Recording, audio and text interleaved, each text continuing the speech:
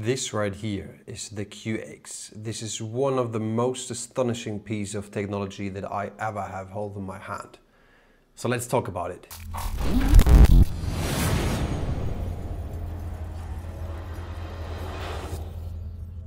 So here we go. This is the QAxe and uh, for you guys, this little fan down here is just something that I put there because I wanted to cool the MOSFETs that are down there a little bit better. But don't worry about this. This is just some, some testing setup for me here. So usually you would not have uh, this sort of setup. So let me, let me get rid of this quickly and let me show you how usually would look like. You would just have this one fan here and it would be spinning and that is how the QAxe looks. Like you can see, it's a CPU cooler mounted to this PCB here. And uh, down there we do have four ASICs.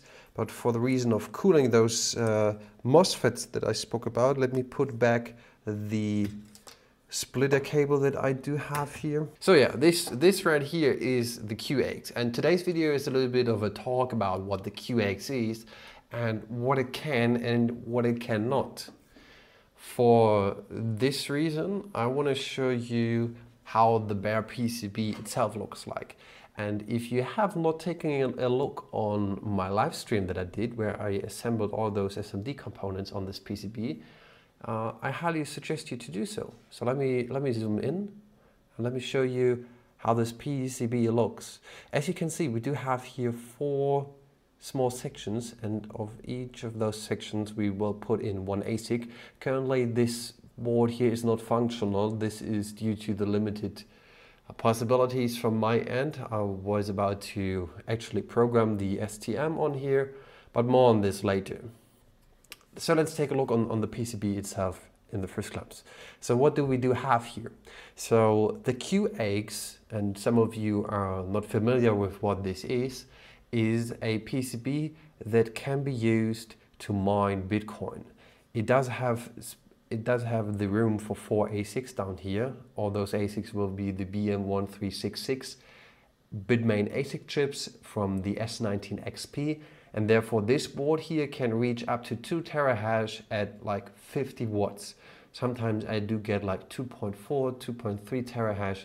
It always fluctuates a little bit, but that's normal.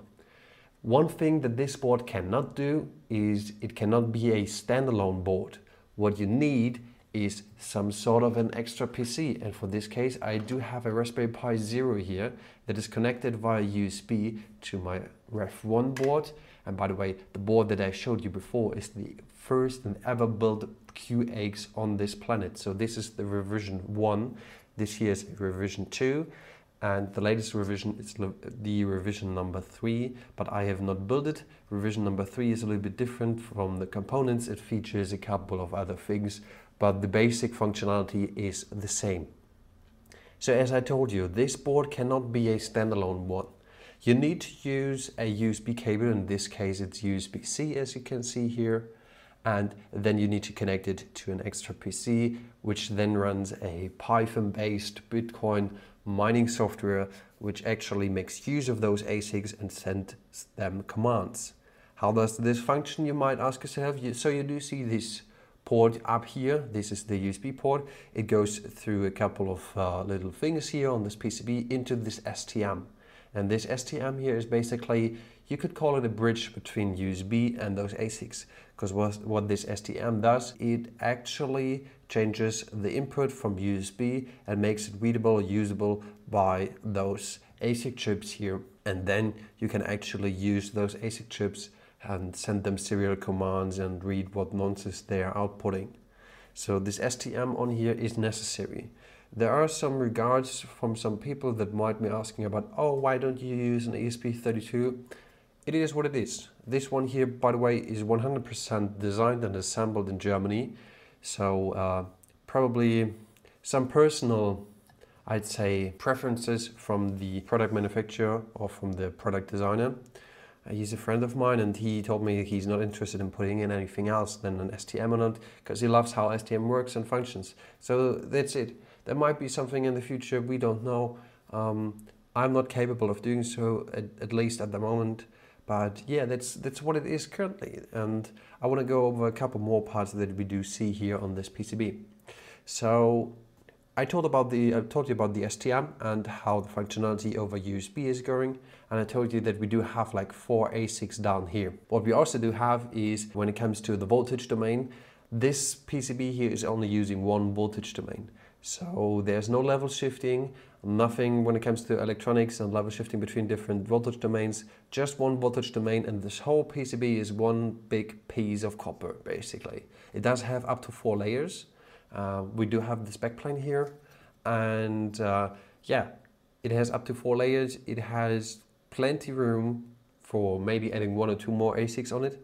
Uh, but then you might come into a heating or cooling issue because as you see, like uh, this square that we do have here is perfect for an LGA 1151 CPU cooler, but everything above this, like if you would increase the size or the number of ASICs, you would have some cooling issues probably. What you could do is extend the PCB and then put a second CPU cooler on it. That would probably function and that would also be a cool idea, I think. But then you would in increase a couple of other things as well, like the MOSFETs and the coils, probably to keep the voltage domain stable. While talking about this, up here we do see four MOSFETs and uh, what they are used for, they are basically using uh, the input voltage, which is 12 volts on this device here, and then just do some magic stuff and out there comes the perfect voltage that we do need for those ASICs. Uh, next to them we do have this huge components here, those are coils, uh, so just to keep them stable on their voltage, what they do need. And uh, one major thing that I want to make sure here is that you understand, this one right here is a fuse. So whenever you do put in something above 12 volts, this fuse will blow up. So this is like a protection for the whole PCB. This is also a, a big difference to the Bitaxe. If you do put in something else than 5 volts, the Bitaxe, your Bitaxe will be broken. You cannot use it any longer. It's probably broken on every single piece. Uh, so you probably will burn everything. And one cool thing that I uh, that, that, that we forget out as well is if you do have not proper cooling on those ASICs, instead of them blowing up because they want to draw more and more and more voltage, uh, this fuse blows up. So if you do not have proper cooling on this, uh, you, your fuse will break because this fuse is rated for 12 volt, 5 ampere and uh, nothing above this. If there's anything above it, it will blow. And uh, yeah, we tested this a couple days earlier and uh, yeah, there you go. So it's a perfect protection for your ASICs because you don't want to blow them up. Uh, probably there are a couple of improvements that you could definitely do as well, uh, but that's it for now. On uh, the downside of, of the PCB, we do have a couple more capacitors, plenty more capacitors to be to be fair. Uh, as you see, plenty more. And yeah, that's uh, that's basically the QAxe. That is basically what I want to tell you about it. I do still miss a couple of components on this PCB, but as I told you, I do have some troubles uh, programming it. And uh, while we're speaking about programming, let me show you a Pico probe. This here basically features a Raspberry Pi Zero or Raspberry Pi 2040, I believe it's how it is called. Uh, yeah, Raspberry Pi Pico, it actually is called. It does features uh, a probe connection, the, which would go over to this connection here, and then you could program the STM on here, because you actually need to program the STM, otherwise it just does not anything. And uh, this one here goes with a USB cable to your PC and um, then you can actually flash the STM.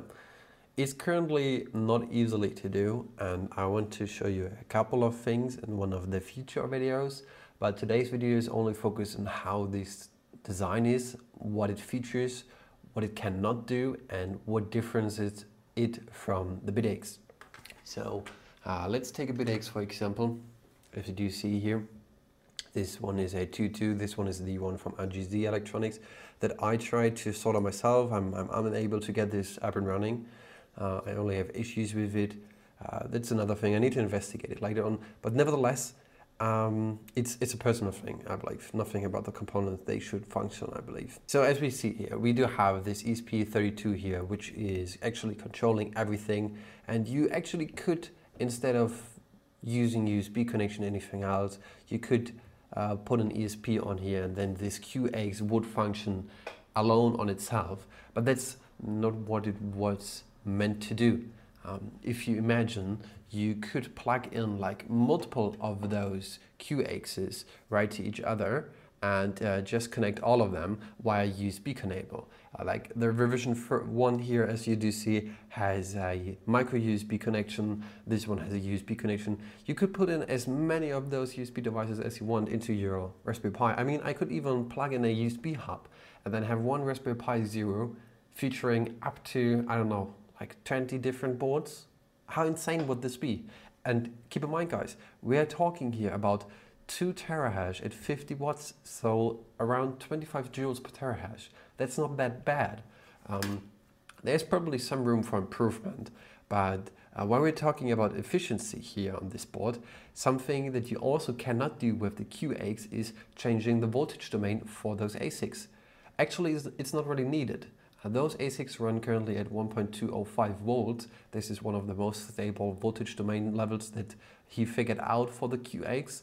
And uh, I'm currently running them at 485 megahertz. That's the default megahertz level for an ASIC chip, or for this ASIC chip specifically.